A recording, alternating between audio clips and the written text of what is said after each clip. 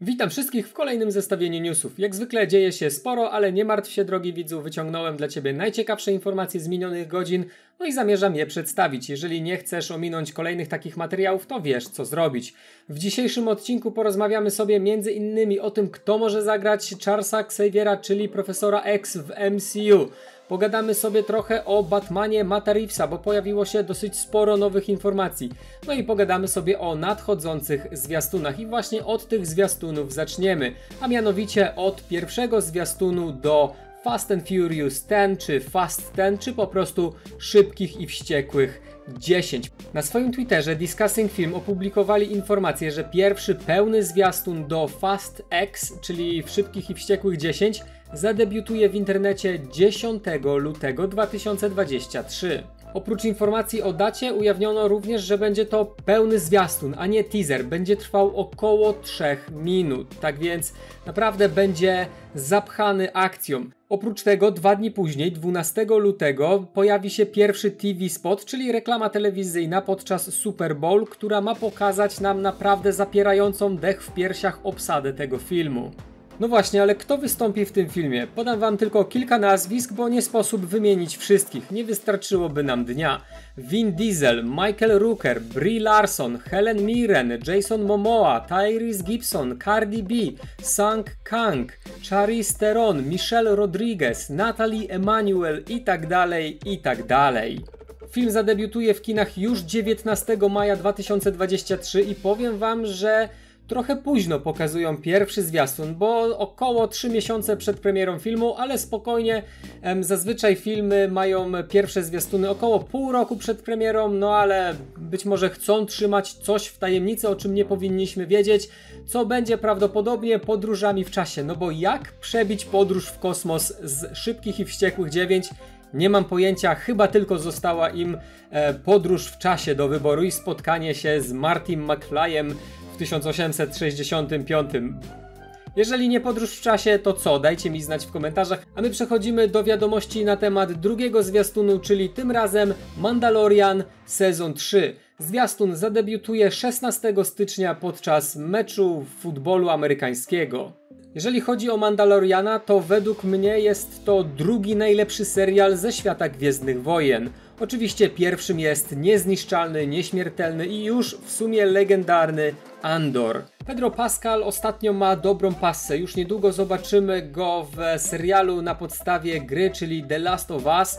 No i w Mandalorianie zrobił naprawdę świetną robotę, która, raczej dzięki której został, myślę, że zauważony w Hollywood e, w takim w większym świetle, w większej skali myślą teraz o tym aktorze. Nie to, że grał w jakichś tam kaszanach, bo grał w dużych produkcjach, na przykład Wonder Woman 2.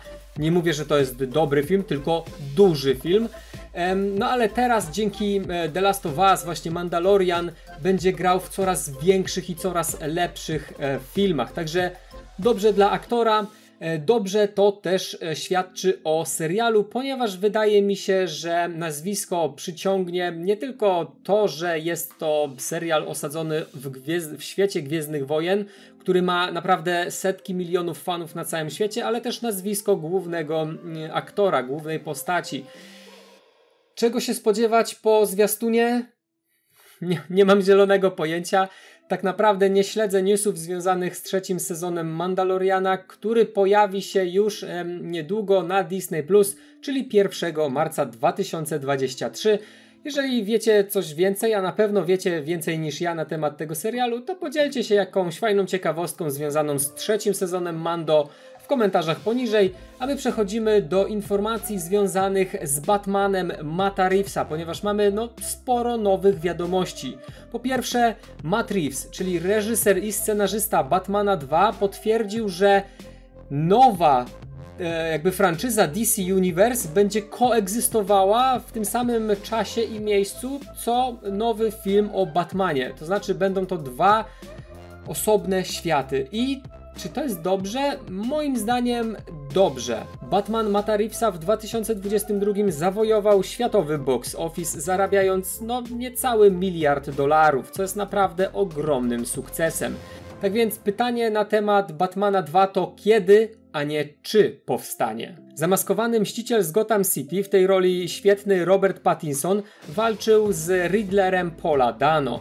Na razie nie wiemy z kim Batman będzie walczył w drugiej części, natomiast wiemy, że Matt Reeves już pisze scenariusz i jest w całkiem zaawansowanym stadium. Wydaje mi się, że gdzieś napisał może mniej niż połowę, ale pisząc, że jest w zaawansowanym stadium pisania scenariusza, no to na pewno nie zaczyna. Myślę, że gdzieś jest w 30-40%.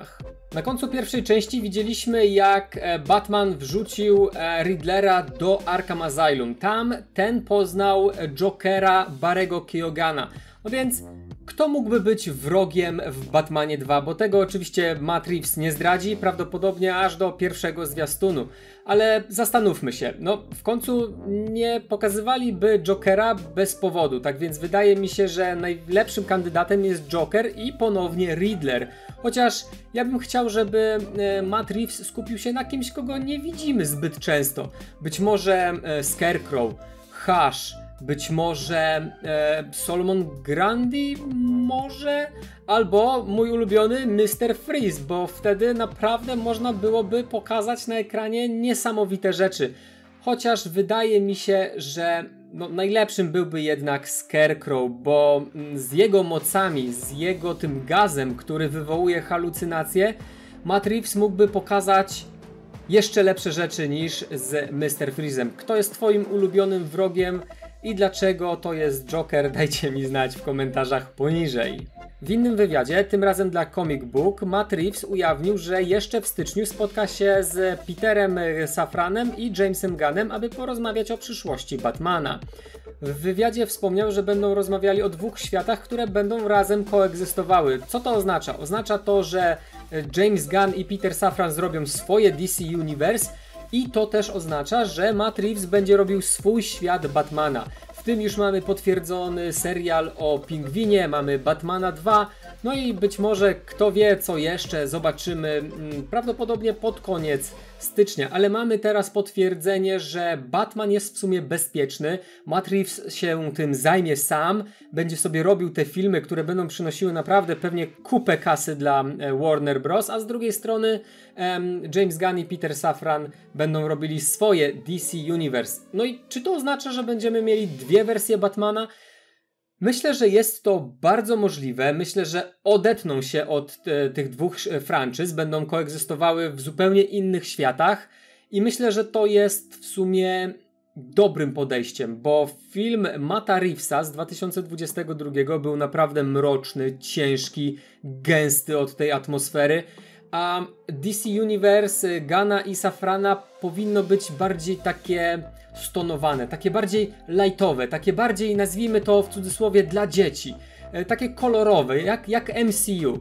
Um, no i dlatego według mnie jest to świetny powód, aby trzymać dwie osobne franczyzy. A ty jak myślisz, czy powinien być jeden Batman w dwóch światach, czy dwóch różnych Batmanów w dwóch światach? Jeżeli będzie dwóch Batmanów, no to kto zagra tego drugiego? Dajcie mi znać, a my przechodzimy z DC Universe do MCU, ponieważ Giancarlo Esposito wypowiedział się w programie Jimmy Fallon na temat przyszłości, potencjalnej przyszłości, a raczej tego, kogo chciałby albo kogo fani chcieliby, aby on zagrał w MCU. No i czy to się sprawdzi? Mam nadzieję, że tak. Giancarlo Esposito mogliście ostatnio oglądać w serialu na Netflixie Kaleidoskop albo odgrywał rolę Mofa Gideona w Mandalorianie nie wystąpił jeszcze w MCU, ale wygląda na to, że to może się niedługo zmienić. Jakiś czas temu Esposito ujawnił informację, że już rozmawiał z włodarzami studia Marvel na temat jego potencjalnej przyszłości,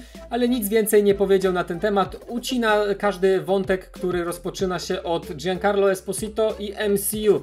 Tak więc na razie nic nie wiemy. No i właśnie, teraz e, chyba wygadał troszeczkę więcej. To tak naprawdę nie powiedział nic, ale powiedział wszystko ponieważ był gościem w programie Jimmy Fallon Show. Line, a, a lot of fans want you to be in the Marvel Cinematic Universe.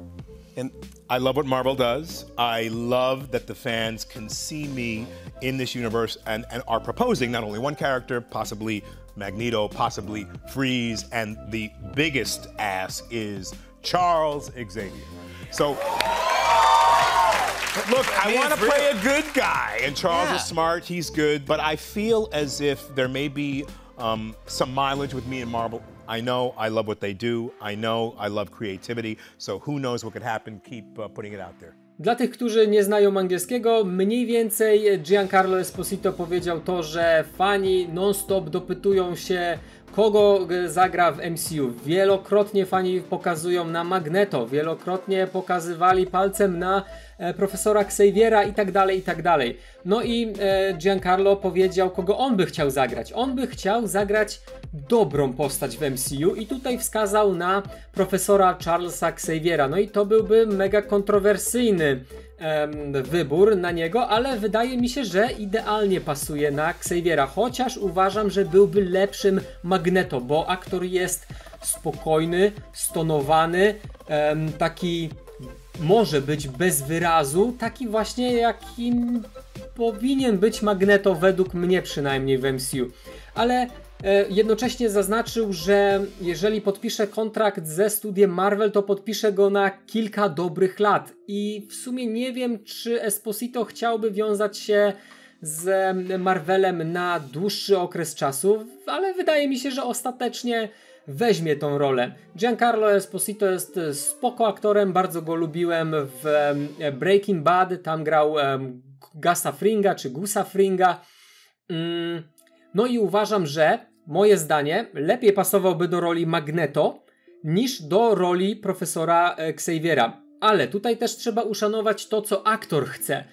Bo jeżeli aktor nie chce grać Magneto, a jakby zmuszą go do tego, żeby grał Magneto, to nie wyjdzie to dobrze. To będzie widać na ekranie, że on po prostu się nie cieszy tą rolą. E, oczywiście, no nikt go nie zmusi, bo po prostu nie podpisze kontraktu, ale lepiej, żeby dać aktorowi to, co chce, tym samym licząc na 5 razy lepszą grę aktorską. I moim zdaniem, jeżeli Giancarlo Esposito będzie chciał grać e, profesora Xaviera, to niech go zagra, bo wiem, że zagra go z pasji, że zagra go, bo chce zagrać profesora Xaviera. A ty, jak myślisz, powinien zagrać Magneto czy Charlesa Xaviera? Daj mi znać w komentarzach poniżej. Jak również zapraszam na nowy kanał Kocham Gry, który zaczął swoje podboje YouTube'a od początku 2023.